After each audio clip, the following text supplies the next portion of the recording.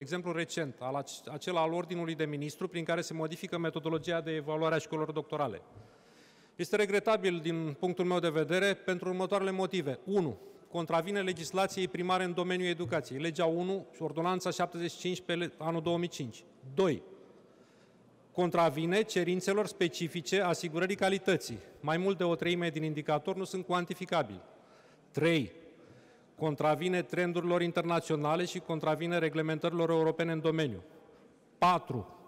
Contravine rezoluția adoptată în unanimitate, subliniez în unanimitate, în Consiliul Național al Rectorilor. 5.